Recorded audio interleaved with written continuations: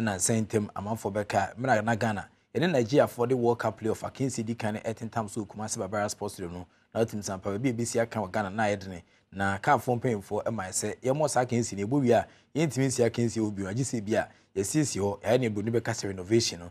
Na mene wo kasa deɛ world cup playoff no nso da anim bosom yɛ ɛbɛyɛ na nea akɔpiem sɛ baabi a ghana bɛsi aka no yɛtumi si yɛkɔ ataa no ase yɛkɔ adwo a na nea akɔpiem ɛne sɛ nnura ana mpanyimfoɔ submite nhyehyɛ a ɛno ɛma ɛho kwan sɛ yɛbɛtumi anya stadium a ɔmbɛgya tom na yɛsi akansi no so ɛde kɔma akaafoɔ mpanyimfoɔ nti accra sports stadium the nations wembley ɛna afei nso wode w'ani kyerɛ cape coast sports stadium ɛfa 15000 capacity no a ɛhɔ ana mpanyimfoɔ de amom na wura baako a ɛfrɛ sɛ julius ben emura na ɔno na ɛyɛ club licensing ɛyɛ committee no. Wɔn manager ɛwɔ ghana ha na ɔde nkɔmɔ kakra tumi sɛ gyan ɛde afa hia ho behia sɛ ɛnɛ yi yɛbɛfa ɛyɛ agudie no bere so. We need to take football serious in this country.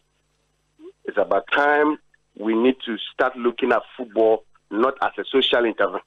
We should see it as a business. We should see it as a game or a sport that has huge socio-economic impact, which is incalculable. In Ghana, Nigeria. Look at the mood in the country. That is incalculable.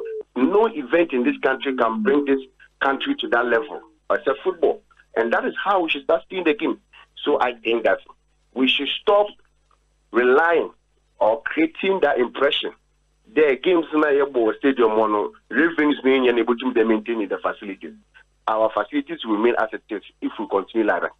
We should start looking at other means of raising funds. If we are looking at other means of raising funds to support the teams, and then we cannot look at other means that they raise the funds, that they maintain their facilities. Infrastructure is the hallmark of the game if we are look, getting money for the players and we cannot raise money to maintain the facilities where the players will play, I don't think that we are we are doing something right. There's something wrong somewhere, and I, I think that that is the paradigm shift that needs to that needs to happen. The infrastructure development and proper infrastructure development, and this is where I come in. Young AstroTurf facility, another artificial turf infrastructure be bria, wakwa pro or manima into football division one, into football premier league. That must stop. Proper investment in infrastructure must begin. And that is where of course, our football will reach the top we need the top or the level that we need to be.